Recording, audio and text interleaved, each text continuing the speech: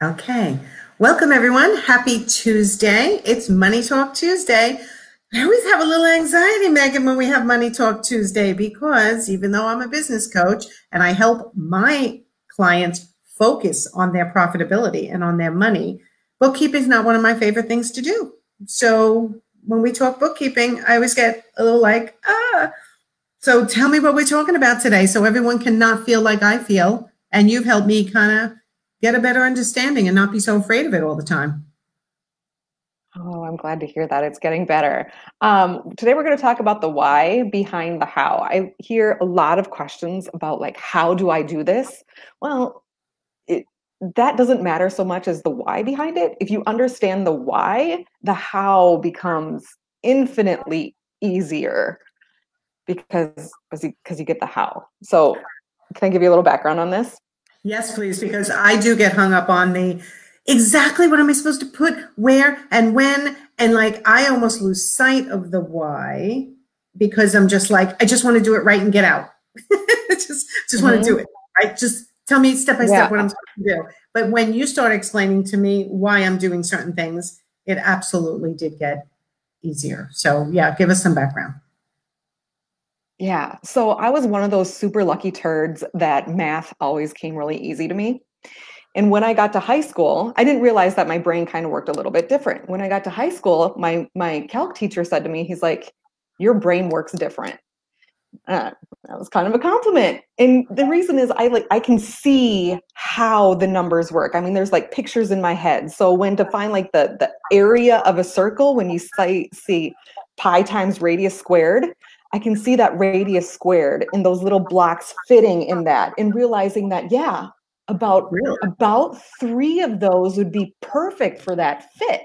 And so it just and so when this common core math started coming out and people were rebelling and and it's just terrible, it's just terrible. Well, the wave has kind of turned and people are like, oh, they're teaching the kids the why behind. They're teaching it the kids how I have always seen math how these relationships work and the, the why it works behind behind it, right?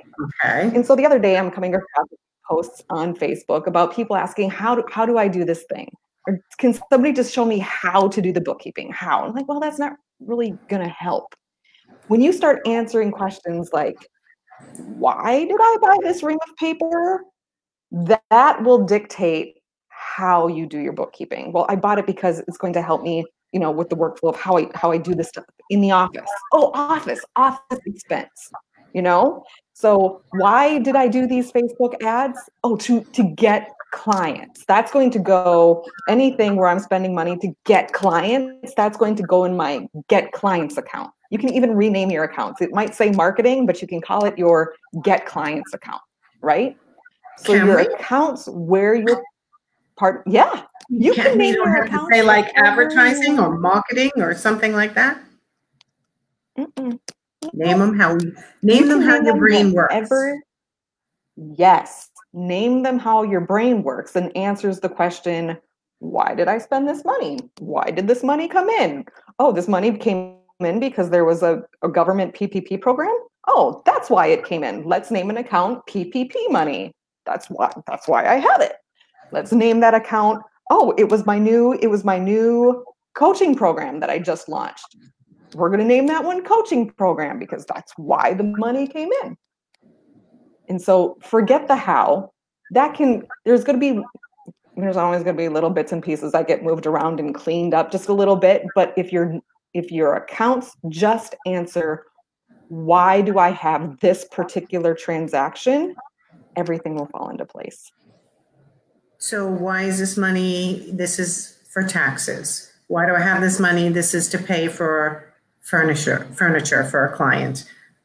Or this is to take a client out to dinner or for gifts, right? So you can actually name accounts that way.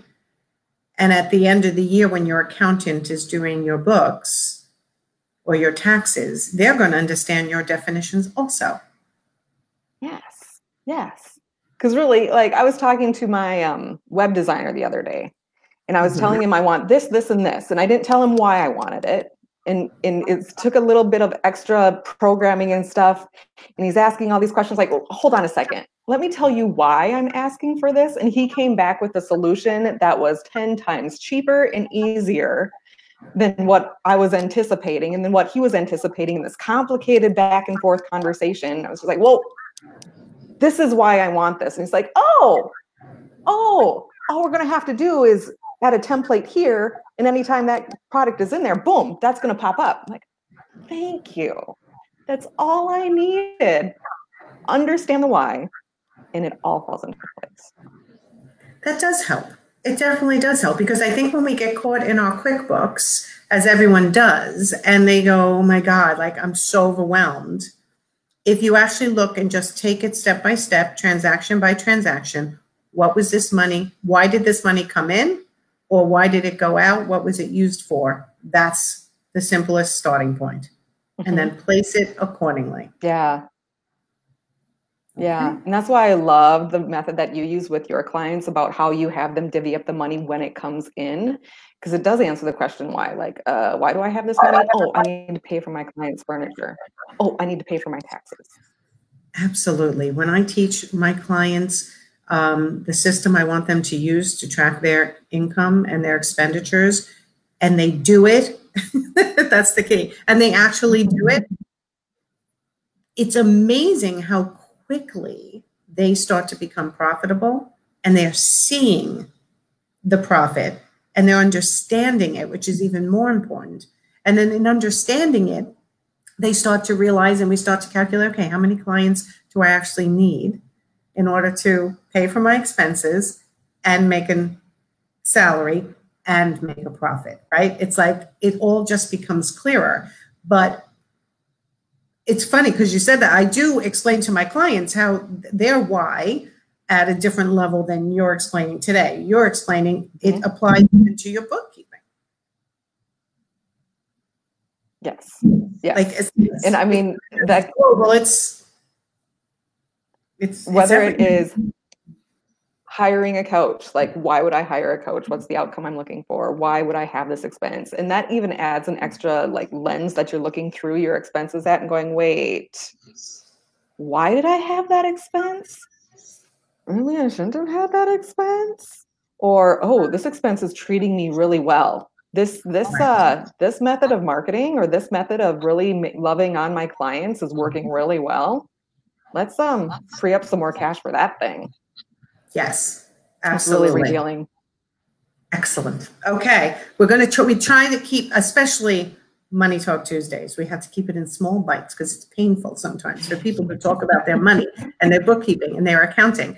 Um, while I'm here, though, let me answer Linda, who actually called me a while ago. So, Linda, one of my assistants is calling you. Check your junk mail. Check your um, spam folder because you did get a email automatically from my system 24 hours before. Today I'm holding a masterclass, Megan. And Linda says she didn't get the email to get her into the class. So, um, and you'll also, right, you'll also get one at 11 o'clock Eastern time, which is in about 20 minutes and it will probably also go into your spam or junk folder. But my assistant, Sally, will be calling you um, to make sure you get the information. So I forwarded that to her.